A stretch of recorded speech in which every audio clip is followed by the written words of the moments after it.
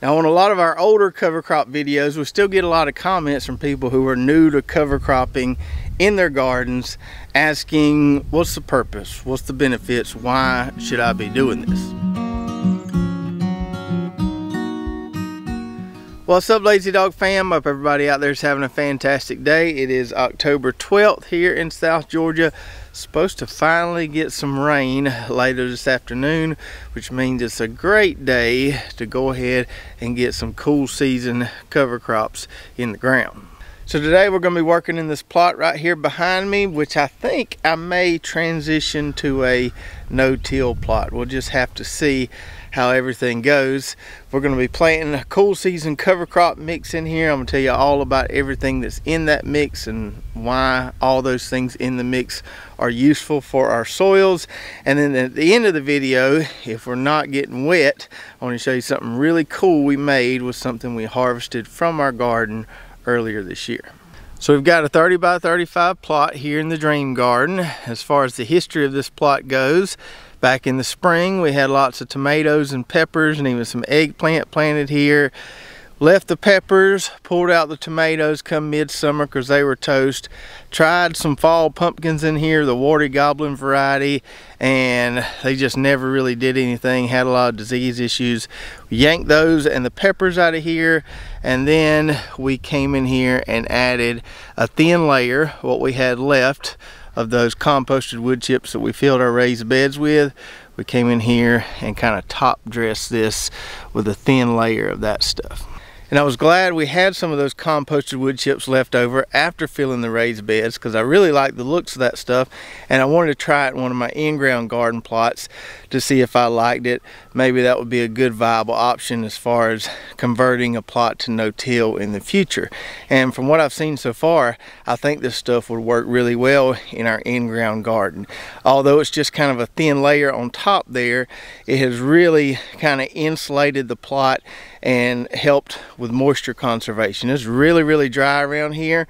I did run the overhead sprinkler on it a couple times and I noticed that the really sandy soil beneath those composted wood chips was staying moist. So this stuff may actually be better off for us as far as our no-till plots go than the gin trash compost. We'll see over time, but I really like the moisture retention that these composted wood chips are providing.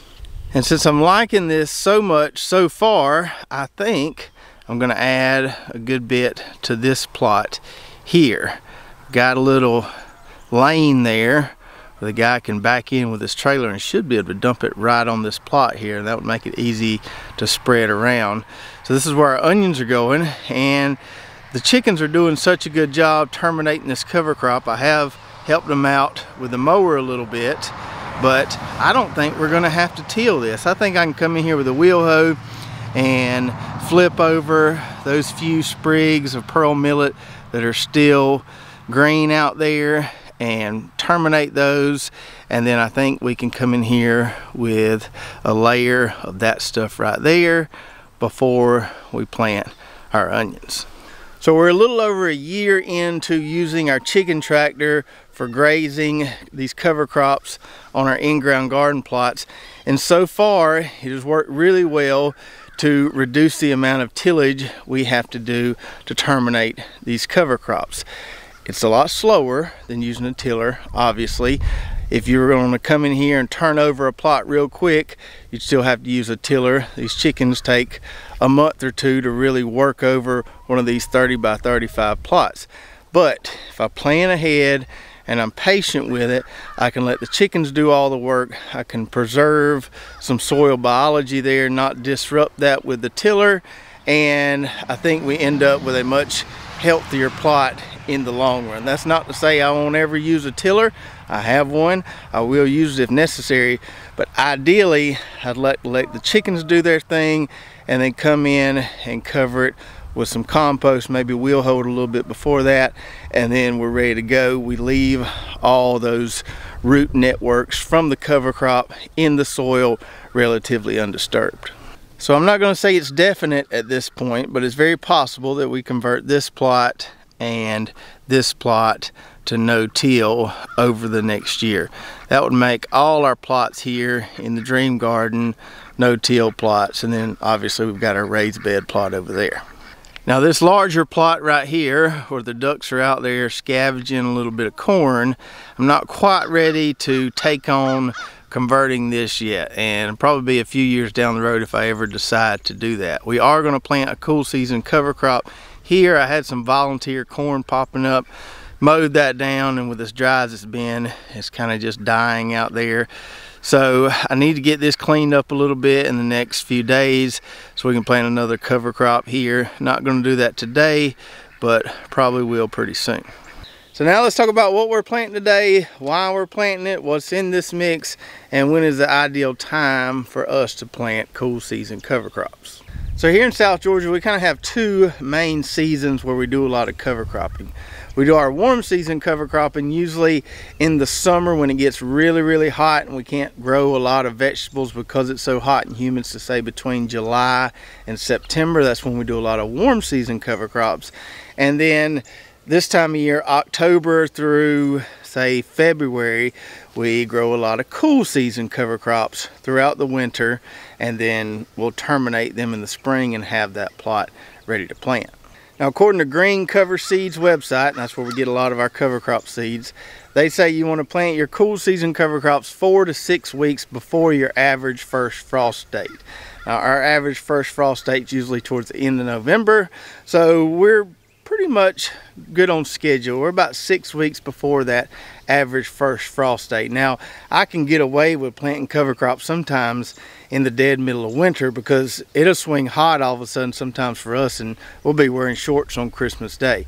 But if you have consistently cold temperatures throughout the winter months, definitely stick by that rule four to six weeks before your average first frost date. That's gonna let these cool season cover crops get up and go and germinate, establish before you get some really cold weather. Now most of this stuff is really cold hardy, but it needs time to really establish before it starts getting really pounded by the cold weather.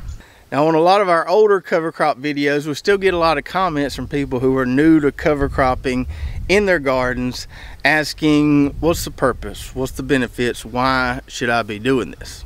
So let's kind of briefly go through some of these cover crop benefits. So one would be nitrogen fixation. So some of the cover crops we plant warm season and cool season are able to fix their own nitrogen. A lot of legumes do that and some of the ones in this mix we'll be planting today do that. As far as the cool season nitrogen fixers go, you've got things like clover, winter peas, hairy vetch. All of those are gonna fix atmospheric nitrogen and add it to your soil. So you get a lot of nitrogen addition there that's available the next season when you go to plant vegetables there. The second big reason to cover crop would be because of the organic matter you get added to your soils. Now some people have soils that hold organic matter really well. We have sandy soils here that don't hold organic matter really well. It kind of burns up in that sandy soil and so we're always having to constantly add organic material to the soil. Cover crops is a great easy way to do that. Compost is good too but the cover crops make it easy and just like you saw over there where the chickens are we've got lots of nice organic material sitting on top of that soil there and benefit number three for planting cover crops is nutrient scavenging. So a lot of the cover crops we grow have these really long tap roots that grow way down into the soil, way deeper than your vegetable plant roots are ever going to go. And so what that does when they grow way down there like that, it scavenges nutrients from way down deep in the soil profile and helps bring them up to the soil surface so they are then available to the next round of plants, say vegetables, that you plant in that plot. The fourth benefit would be erosion control. Now I don't have a lot of issues with that here because my property is pretty flat, but if you live in a hilly area and maybe your in-ground garden is on terraces or hills, you can have a lot of issues with your soil washing away. Having that cover crop in place, having those roots kind of anchoring down to the soil, holding it in place is going to keep your garden soil where you want it to be instead of washing away. And the fifth benefit, which is a really, really big one, is weed suppression. So we get a lot of comments, people asking, how do you have so few weeds in your garden? And it's not because we're out here pulling weeds 24 7. It has a lot to do with our cover crop program. So when we have cover crops out there densely planted, weeds can't get in there and thrive and we're not getting a lot of weed reproduction in our gardens. We're keeping our weed seed bank low and that makes gardening much more enjoyable and a lot easier in the long run. And then the sixth benefit, which is not going to apply to everyone, but certainly applies to us since we've got the chicken tractor, is cover crops provide a great forage for animals. So you've got goats or pigs or maybe even cows, especially chickens, you can use that to feed your animals. So when we've got a nice lush cover crop out there and we've got the chicken tractor being rotated across that cover crop, we don't have to feed our chickens as much. They really like eating that stuff.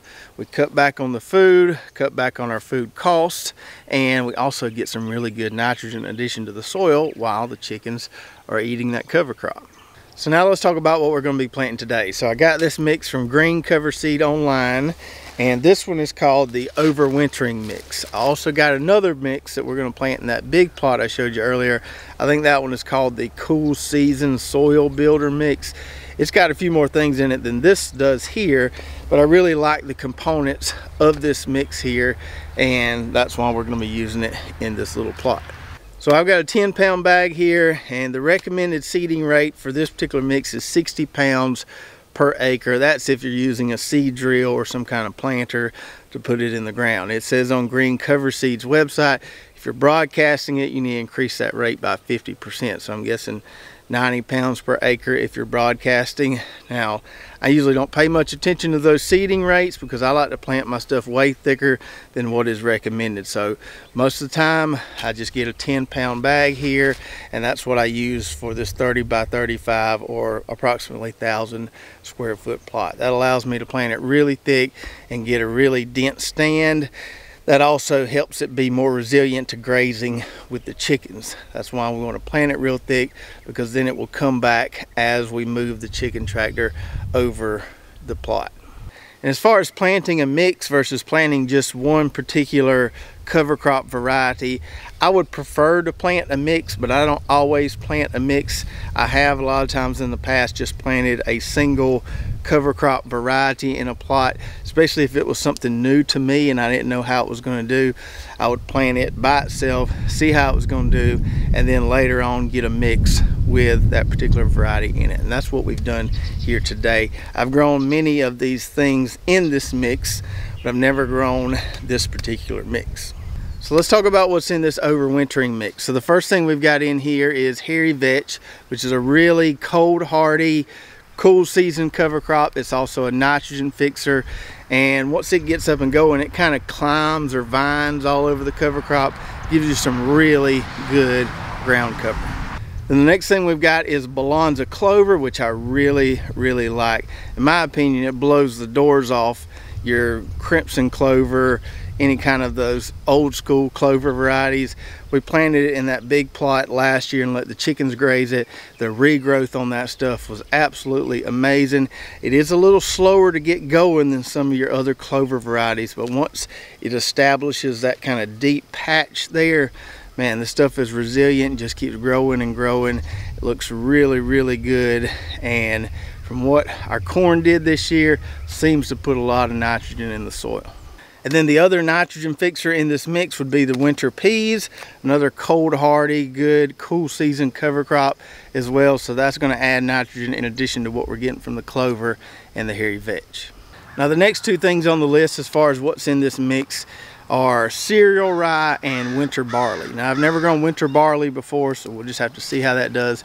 But last year we planted another cool season mix in this plot behind me here that had cereal rye in it and it seemed to do really well.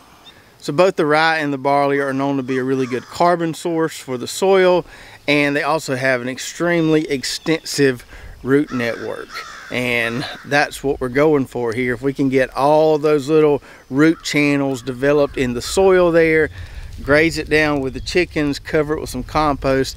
We have all that biology left there when we go to plant our vegetables here next spring. And then the last component of this mix is rapeseed, which goes back to the nitrogen scavenging benefit I told you about earlier. So it forms a really long, deep tap root. It's going to scavenge nutrients from way down there in the soil profile. It's also going to help to aerate your soils a little bit. Now, I don't have a huge issue with my soils being hard and compacted, but if you have harder clay soils, these cover crops with the deep taproot will help kind of aerate your soils and make them a little easier to work in the future. Now before we inoculate this and plant it, one more thing about cool season cover crop mixes, especially down here in the south where we can hit 80 degrees randomly during the middle of winter, is that some of this stuff will go to seed before the other stuff. And you really don't want this stuff going to seed because you don't want it to create a weed problem in your plot what I found last year doing some mixes of my own is that if I have one component of the mix going to seed, I can come in there and mow it on my mower's high setting. Also use the chickens to mow it as well. And whatever went to seed will eventually kind of die out and get taken over by some of the other components of the mix. So like last year on the other side of the barn, we had some mustard that went to seed early, but had a lot of other stuff in the ground, some kale, some clover, some winter peas, stuff like that.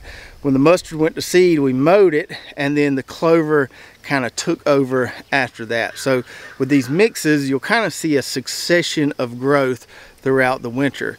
You might see some of this stuff take off really early and you might not even notice the clover is there at first, but as the season progresses you'll kind of see the clover take over a little more and kind of you know smother some of this stuff out. You're still gonna get all the benefits of having everything in there but it's kind of neat to watch the succession of growth with these mixes here. So we've got our bag of seed here. We've got the inoculant which was included. Didn't have to purchase that separately which I really really like. Got our bucket. Got a little water here for the inoculation process. So let's pour the seeds in our bucket first here like I said, I'm going to use all of this.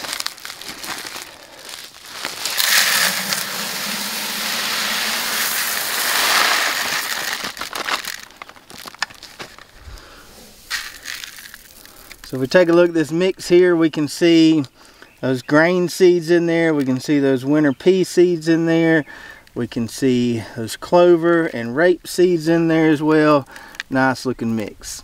So the inoculant here, if you're not familiar with these, what this does is it provides the bacteria that these nitrogen fixing cover crops need to fix their nitrogen. So not everything in this mix needs an inoculant.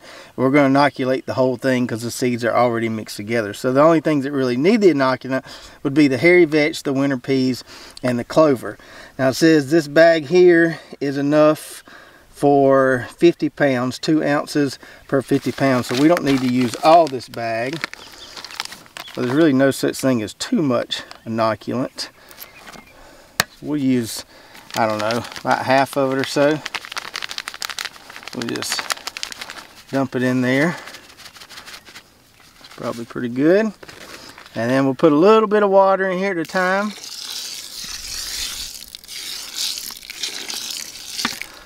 And we'll just start mixing it together.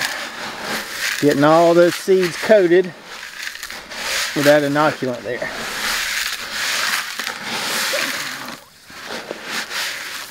And looks like they're all coated. Now we're ready to throw some seeds. We're lost in the odds, giving breaking bones,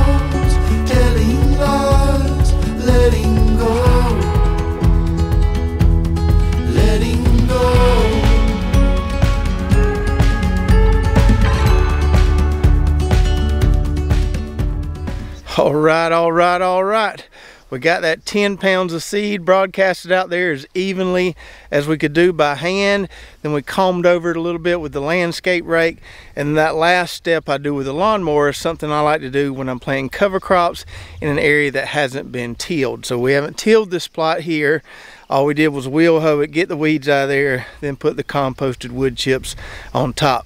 Running over it with the lawnmower tires there helps kind of pack the seed into the soil, gives us more seed to soil contact and better germination.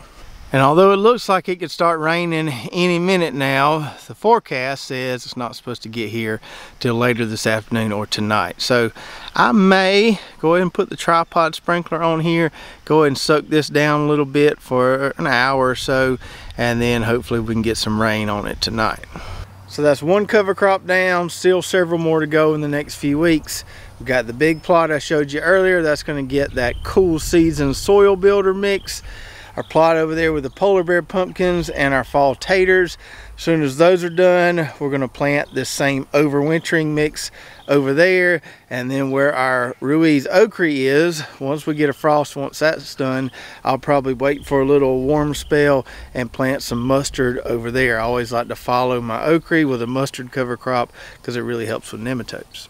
And now, as promised, I want to show you something really cool we made with these right here. So if you've been following along, you know we grew two varieties of peanuts this year. First time we've ever successfully grown peanuts. We grew a double row of Valencia peanuts, made a big pot of boiled peanuts with those, and then we grew another double row of these Virginia jumbo peanuts, which you can boil, but we grew these mostly to try and make our own homemade peanut butter. So after we pulled these Virginia Jumbo peanuts, I put them on our drying rack underneath the pole barn for three or four days. We picked the peanuts off the plants, rinsed the peanuts off, and then we roasted some of them. These here haven't been roasted yet, but we roasted a pretty good batch of them and then shelled the peanuts. So once we had the shelled roasted peanuts, after a little bit of time in the Ninja processor, we ended up with this right here, the best peanut butter I've ever had. This stuff right here is mighty, mighty fine. Now this is pretty easy to make and I'll tell you how we did it. So I looked online at several different homemade peanut butter recipes and several of them said you don't really have to add anything to it but salt. You just put it in the food processor and let it run for a while and it'll eventually turn it in to peanut butter. What I found in our Ninja food processor was that I had to add a little bit of olive oil to it just to kind of get it to blend up nicely. You just kind of have to hammer down on it and let it go and it eventually turn into peanut butter. So I add a little olive oil to ours, a little salt, and also a little honey. And I really like the addition of the honey. So when you take a bite of this, at first it's kind of sweet. You can taste that honey in there. And then after a few seconds you can taste the saltiness with the salt added and the peanuts. So you get a whole range of flavors there and this is really, really good stuff. And we didn't come close to using all our peanuts just to make this little batch right here, which is kind of like a small jar of peanut butter. So we ended up getting a good bit of peanut butter off that row of peanuts there. And given how good this stuff tastes, I think it's definitely worth doing. Now, for some reason you're not able to grow your own peanuts, you could obviously go to the store, get a bag of roasted peanuts, shell them, and make your own peanut butter that would look just like this. But there's just something nice about knowing that we grew the peanuts that are in this peanut butter. So I hope you enjoyed the video today. It was nice to get some more cool season stuff planted and hopefully it'll be nice to get some rain later on today. If you have any additional questions about cover crops or cool season cover crops specifically, put those in the comments below and I'll try to answer them for you. Also, if you've ever made any homemade peanut butter, let me know how you did it and maybe what you added that really worked well so we can try that on some of our other peanuts that we haven't blended yet. If you're watching on YouTube, be sure to check out our affiliate links below. A lot of great companies that we use in our gardens here at Lazy Dog Farm. Even got some coupon codes for some of those companies so you can take advantage of those discounts. Don't forget to go check out our website, lazydogfarm.com, where we've got our garden blog, recipes, hats, shirts, all kind of good stuff over there. If you did enjoy the video, be sure to subscribe, hit that notification button, like, and share. And we'll see you next time right here at Lazy Dog Farm. farewell. Mm -hmm, by the beauty of your life.